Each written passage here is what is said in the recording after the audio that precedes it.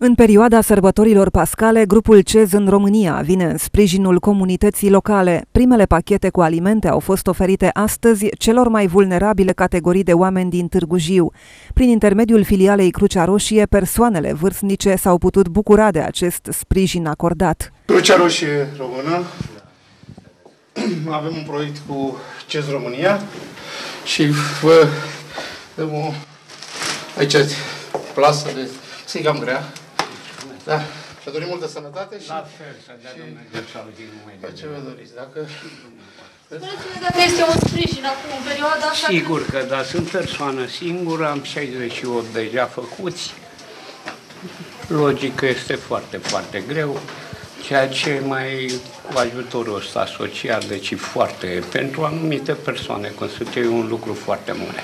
Încercați să evitați în această perioadă să ieșiți din casă? Întotdeauna. Cu toate că e foarte greu, asta e. Mai e la bancă în decursul ăsta 9-11, dar cam asta. În cele 50 de pachete distribuite beneficiarilor din municipiul Târgu Jiu s-au aflat alimente de bază neperisabile. În primul rând dorim să mulțumim donatorului CEZ România care s-a gândit la un proiect în regiunea Oltenia. Proiectul se intitulează Sprijin pentru persoanele vârstnice din Oltenia și sunt implicate și este implicată și Crucea Roșie Română prin filialele de Cruce Roșie Română din zona Oltenia Olteniei, județele Olt, Dolj, Mehedinți, Gorj, Vâlcea, uh, Argeș și bineînțeles că încă o dată mulțumim CEZ România pentru gestul frumos. Uh, el constă în uh, finanțarea cu suma de 5.000 de euro de filială pentru achiziționarea de produse alimentare neperisabile pentru 250 de persoane, persoane vârstnice cu vârstă Uh, peste 65 de ani.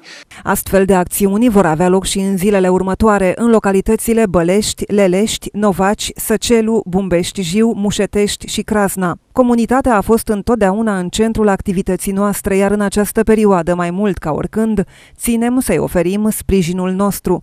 Rămânem la fel de implicați și responsabili pentru structurile de furnizare, producție și distribuție de energie pe care le operăm, care creează nu doar o rețea operațională, ci și una de energie pentru bine. Ne bucurăm să putem oferi din energia noastră comunității, partenerilor, clienților și colegilor care ne demonstrează zilnic că energia vine de la oameni, a declarat Ondrei Safar, country manager CEZ România. Crucea Roșie Română, Unifarm, Spitalul Clinic Județean de Urgență Târgu Jiu, Spitalul Clinic Județean de Urgență Craiova sunt entitățile care vor fi sprijinite de grupul CEZ în România.